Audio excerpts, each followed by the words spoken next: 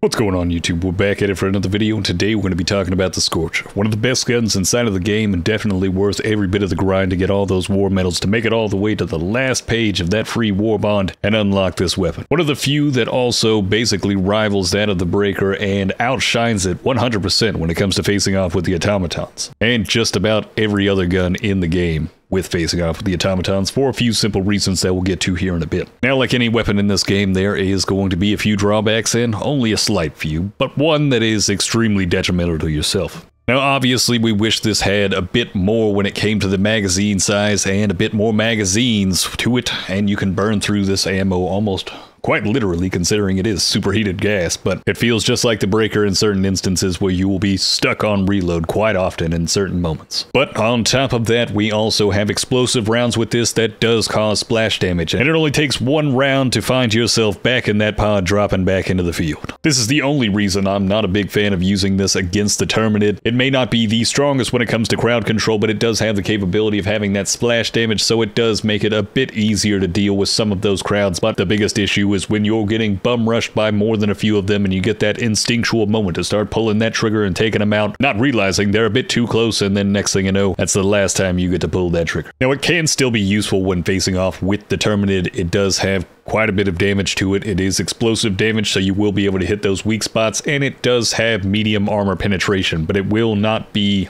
as damaging as some of the other weapons that do have penetration. This one doesn't have quite as much penetration. So in instances when you're facing off with the bloaty bugs that have the medium armor that are the acid green variant, you may be better off just hitting that weak spot on the side as it'll give you an amplified amount of damage and take less rounds in order to take that enemy down. Now, it still can be a bit finicky in certain moments. I feel like the hitbox on that weak spot of that enemy type is, uh, it's a bit strange. It feels like it's a, a, tiny little line and it's not the full radius of where you see those green spots on the side of it. It's a bit frustrating in my personal opinion, but if you're uh, wanting to clear them out the fastest way possible, I would highly suggest just using grenades. But typically with this weapon, if I am pacing off with the Terminid, I like to throw this on with a jump pack, and that way I can get up to locations where the bugs find it a little bit more difficult to climb up on top of. That way, if I do find one of those smaller bugs coming up to face off with me, I can quickly switch to my secondary weapon and take them out without having that moment where I am completely overwhelmed with the large variety of smaller bugs that may be descending upon me. And at that same point, it does give you the capability of utilizing the range with this weapon and providing a bit of overwatch for your teammates. And you may end up being able to take out quite a few chargers with this one, with this kind of play style as if you're able to land shots on the inside of the legs you'll be able to take out some of these chargers really quickly even within one to two magazines and you can also blow off the uh, the sacks underneath that bile titan decreasing its health by quite a bit, and just making that Bile Titan a little bit easier to take down as you move through. Now, where the Scorcher really shines is facing off with the automatons, as this weapon is going to be quite useful against every variety type of enemy besides the mortar emplacements, the anti-aircraft emplacements, and the Gatling laser tank. Sadly enough, these three things cannot be destroyed or damaged by this weapon, but we'll get to why those are meaningful here in a moment. Now, humanoid bots may take more than one round in certain instances, so you will want to aim high and make sure that you're hitting their head so you're getting that weak spot damage, or at least somewhere in the chest so it does have that splash damage toward the head. That way you will get that one-shot capability, but at the same time, a quality of life moment where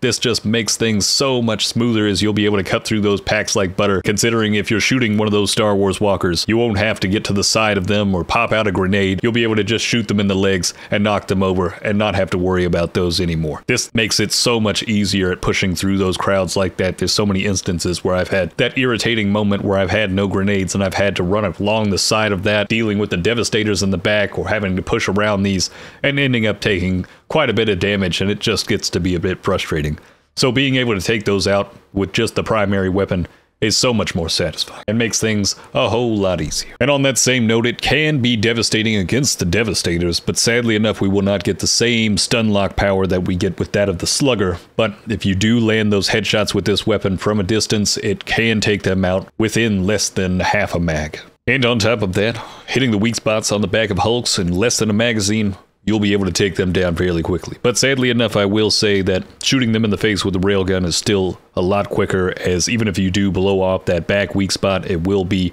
a few seconds later before they finally implode, so they'll still be able to deal damage in those moments. But if you don't have ammo for your railgun, this can be a close second to take them down as quickly as possible in the instance where you don't have something else available to take them down. Now, one thing that some people may not know about the Scorcher, which I know few people in my chat had no idea this is something that the Scorcher was capable of, is you can take down cannon turrets and heavily armored tanks by shooting an entire magazine into their weak spots. Now, you will have to land all 15 of the shots in order to blow up either one of these, but this can be invaluable in certain moments.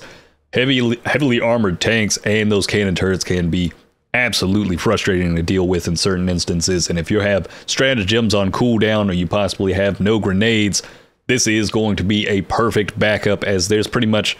only one other primary weapon I can think of that would be able to deal damage to these back weak spots, and that's going to be the Slugger. I think the Liberator Penetrator can possibly do damage to it, but it has such a low amount of damage it would take far too long to get that done, and it takes way too long to get it done with that of the Slugger, but with just one magazine from the Scorcher, you could take that heavily armored tank down and that cannon turret. And this has been so satisfying in so many different instances. I love being able to just take down those cannon turrets as they have sniped me one too many times from 150 meters away, just sniping me even from the tree line, Malevelon Creek, any other jungle, any other map, I can't stand it when I'm just literally running and pushing some of those enemies, and then next thing you know, out of nowhere, I'm just blown to bits. But sadly enough, for whatever reason, when it comes to the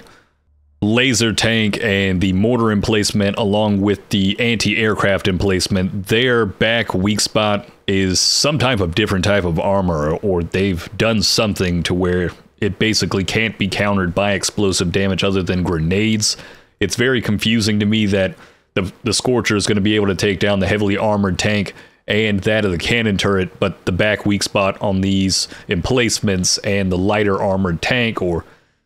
less devastating tank is too tough in order for this to actually deal damage to it, which is weird to me. But if anybody knows of any other weapon that may be able to punch through that, I have not found anything other than grenades and stratagems being capable of taking them down, other than that of something like the railgun as well. So in those moments, it can be frustrating where I wish that the Scorcher had the same capability that it does with the heavily armored tank and that of the cannon turret to be able to take those out as long as I'm hitting the weak spot in the back. But that's going to be it right there, guys. That's going to be uh, that's going to be the Scorcher. Pretty much one of the best guns inside of the game right now, besides the Breaker. Those two are basically tied for the top, but when it comes to facing off with the automatons, there is just no better than this weapon right now before we get anything new in the coming future. At this point, I would say this is one of the top primaries, unless you're looking for that crowd control and power when it comes to facing off with the Terminid as you will be fearful of your own shots when it comes to anything pressing up too close to you, but if you can keep the distance, it's going to work out perfectly fine for you. But if you'd like this content and you'd like to see more, hit that subscribe button, and if you'd like to see some of this content live, hit that link down in the description. Follow me over at Twitch, we'll be streaming daily. And on that note, hopefully this has helped you out, and have a good one.